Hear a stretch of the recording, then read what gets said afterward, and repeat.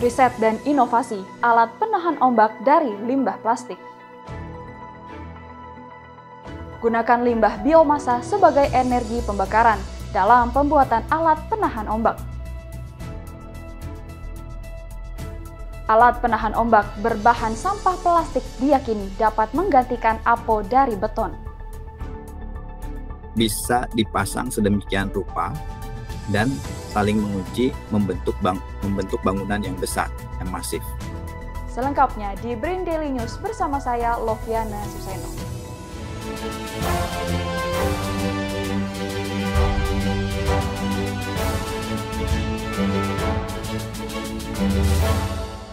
Mangrove membutuhkan perlindungan dari gelombang laut agar dapat tumbuh dengan baik.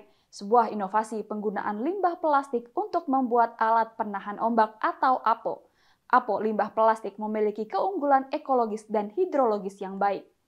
Peneliti Pusat Riset Oceanografi BRIN, Yaya Ihya Ulumuddin, menjelaskan, dengan menciptakan alat penahan ombak dari limbah plastik, bertujuan untuk menyediakan alat yang tahan lama, efektif, serta ramah lingkungan.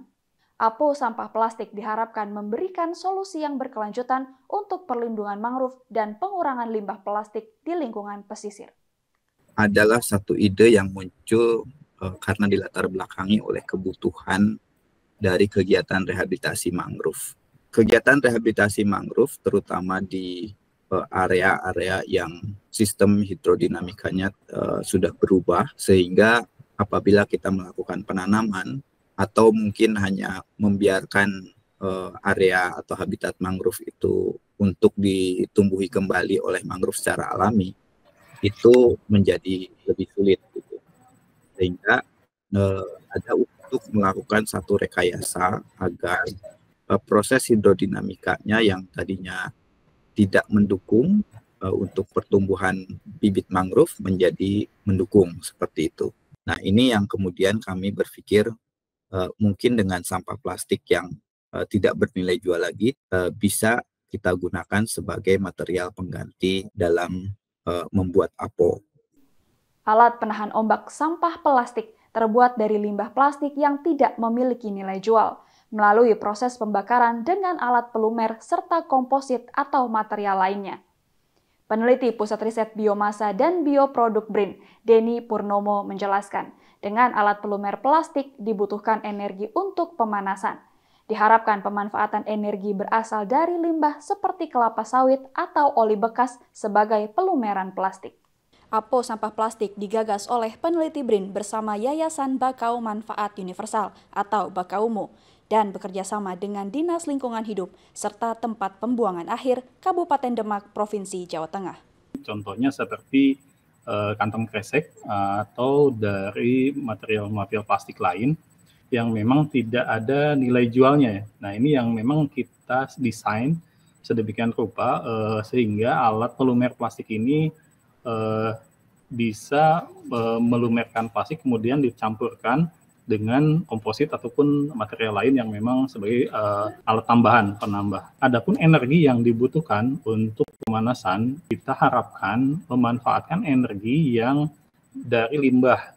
Jadi pemanfaatan energi dari limbah pula seperti itu. Kami bekerja sama dengan uh, Yayasan Bakomu, dibuatlah perjanjian kerjasama uh, terkait dengan penanaman mangrove sendiri seperti itu.